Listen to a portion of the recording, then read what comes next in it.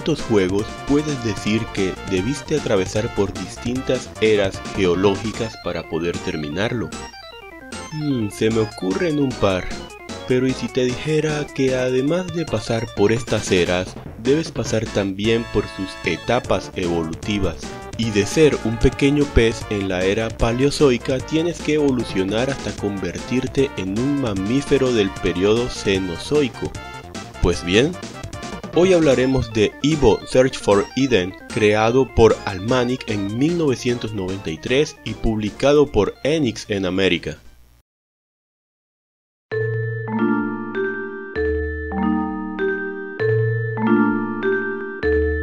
Hace muchos eones, el Sol, regente supremo del sistema solar, otorgó a Gaia, de entre todos sus hijos, el don de albergar vida, que sería la vida en la Tierra.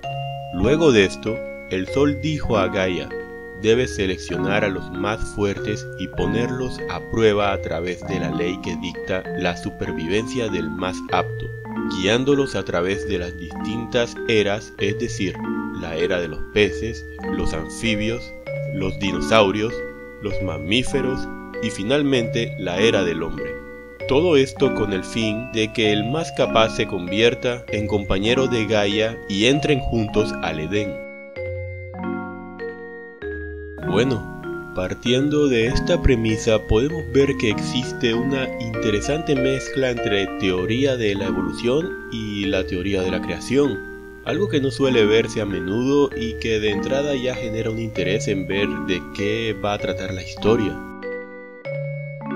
En términos generales, Evo es un juego de acción en plataformas con algunos elementos del RPG en el que debemos derrotar a enemigos y estos nos otorgan puntos de experiencia, aquí llamado puntos de evolución, o Evo Points para evolucionar partes de tu cuerpo como tus extremidades, el cuerpo, la mandíbula, la cola, etc. Esto con el fin de adaptarte a las necesidades de cada era y ser capaz de hacer frente a los depredadores que tratarán de devorarte.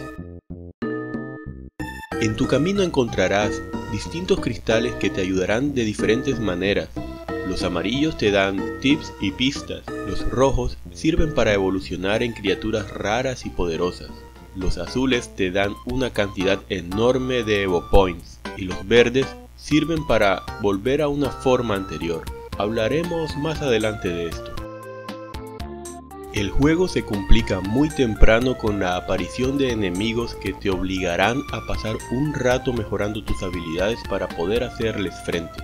Y es que evolucionar aquí es primordial si es que deseas superar las etapas y vencer a los jefes que suelen ser bastante fuertes. Esto nos obliga a pasar tiempo farmeando Evo Points, que es una queja que se tiene sobre este juego, que obliga mucho a levelear. Mi consejo es que priorices mejorar la mordida y luego de eso vayas por las presas que dan mayor cantidad de experiencia. Yo apliqué esta estrategia y no tardé mucho en avanzar en cada etapa.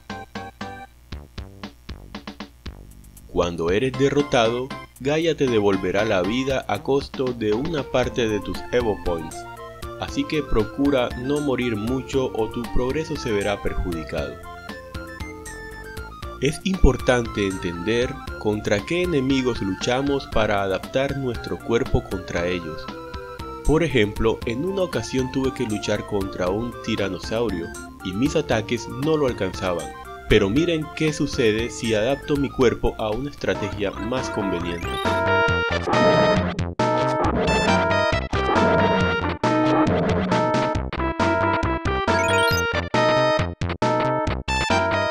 Y es que es muy posible que en tu camino a ser el rey de la pirámide alimenticia tengas que pasar por procesos que implican tener apariencias, mm, digamos, bastante particulares.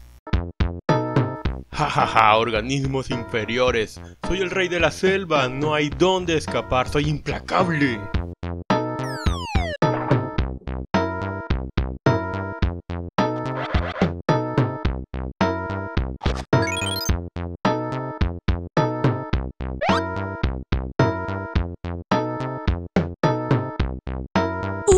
Hola, mi criaturita de Dios, ¿cómo va? Oh, pero Santo Padre Sol, ¿qué cosa eres? Eh Tibudrilo Omega, rey de la selva. Tibudrilo, no te estoy ayudando para que hagas estas cosas. Pero, pero, ¿qué? ¿Qué, qué hice? ¿Qué hice? Estoy salvando al Te ves horrible. Tómate esto en serio, ¿sí? No quiero chupacabras en mi Ah, adentro, ¿entiendes? sea, está bien. Pero qué amargada. No entiendo por qué discute por todo siempre. Este es uno de los encantos del juego sin lugar a dudas. La posibilidad de crear criaturas tan extrañas, combinaciones impensables y una diversidad de maneras a la hora de jugarlas, ya que algunas serán más lentas o saltarán menos, o sus ataques variarán en altura. En nuestra carrera por alcanzar el Edén y ser los más aptos, tendremos que luchar contra distintas especies como los anfibios, los insectos, los dinosaurios y los peces. Sin embargo, en un punto de la historia y debido a la presencia de los cristales de evolución, empiezan a aparecer especies cada vez más extrañas, como los Rogons, que son una especie de peces humanoides, los hombres ave, los yetis de la era de hielo o los dino-humanos, que a mi parecer vendrían siendo prácticamente reptilianos y son la última raza contra la que luchamos por la supremacía. Hay un par de detalles que deseo mencionar.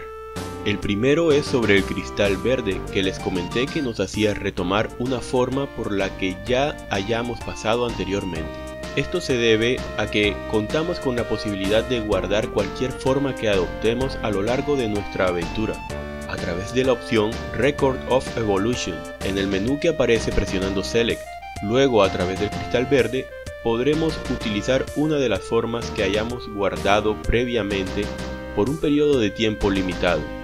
Esto es de gran ayuda cuando debemos enfrentarnos contra jefes muy poderosos muy temprano durante las eras y no hemos podido evolucionar adecuadamente. Es otra de las claves para avanzar rápido en el juego.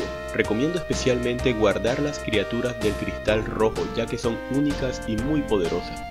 El segundo detalle a mencionar es una mecánica que suele pasar desapercibida y es extremadamente útil. Siempre que evolucionemos cualquier parte de nuestro cuerpo, esto restablece completamente nuestra vida, por lo que es muy importante siempre contar con Evo Points para poder recargar nuestra salud a través de este método. Recomiendo esto sobre todo durante la batalla final contra Volbox, o a menos que tengas una habilidad excepcional, te será prácticamente imposible vencerlo. Y bueno, a pesar de que puedas llegar a pensar, oh Dorpa, vamos, pero si me curo toda la vida, este juego está regalado. Lamento decirte que no es así. De hecho, debo advertirte que morirás mucho y a veces de las maneras más estúpidas. Un par de detalles estéticos que me gustaron fueron el hecho de que el avatar del mapa que nos representa cambia dependiendo de la forma que adoptemos. Otro aún más genial es el cambio de día a noche durante el juego y que algunos enemigos se duerman haciéndolos más vulnerables a un ataque. Existe la posibilidad de desbloquear algunos finales alternativos si accedes a colaborar con los diversos jefes que encontramos en el juego. Dichos finales son representados por pequeñas imágenes acompañadas de texto. Los gráficos son bastante buenos para su época manteniendo una estética más inclinada hacia lo cómico y desenfadado, y que de hecho a veces contrasta con ciertos temas que el juego toca. La movilidad puede llegar a sentirse torpe en algunos momentos, pero en general disfrutarás del juego plenamente. Hay que resaltar el trabajo del gran Koichi Sugiyama en el apartado musical.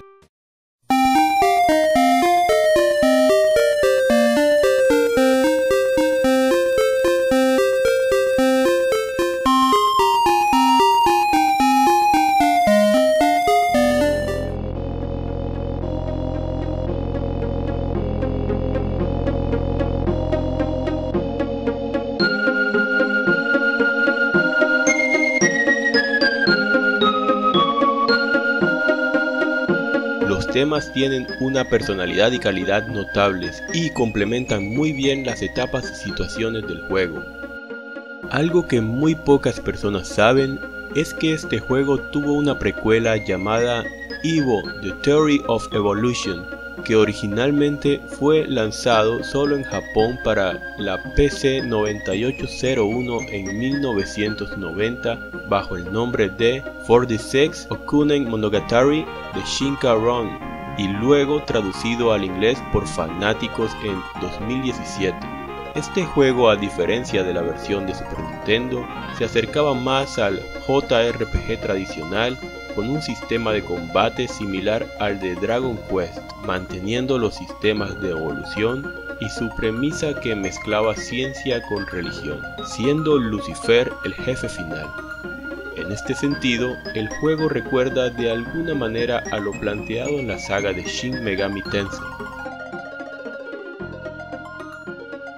Como reflexión final, debo decir que Evo Search for Eden es un juego muy entretenido por la posibilidad de explorar las diversas formas que puedes alcanzar a través del sistema de evolución, su excelente música y la historia tan original que nos presenta. Y aunque algunos puedan sentir que se enfoca demasiado en el farmeo de puntos de experiencia, es un juego único en el catálogo del sistema y nos ofrece una posibilidad a través de su premisa que muy pocos juegos nos brindan aún hoy. No siendo más, que tengas un gran día y hasta la próxima retro reseña.